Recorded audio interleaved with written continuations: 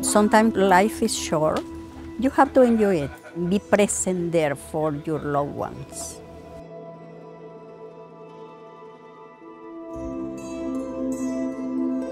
I just have my life made in El Salvador. I left everything, my job, my friends, my family also.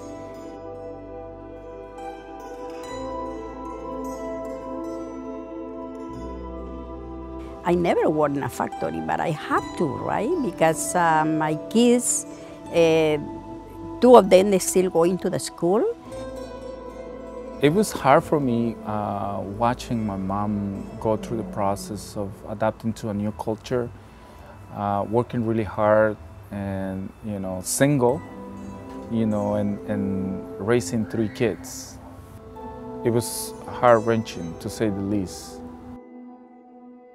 He said, Mom, I, sometimes I feel guilty, and you know, like uh, that you left everything there for us. I said, no, no, don't do that, you know, like uh, I'm okay, we will be okay.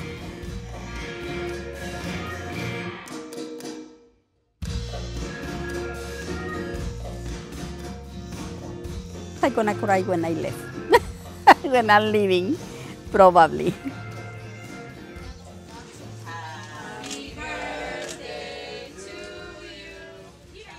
We find a lot of people who help us also. You know, beautiful people who give us a hand, who make us feel, you know, that we were at home.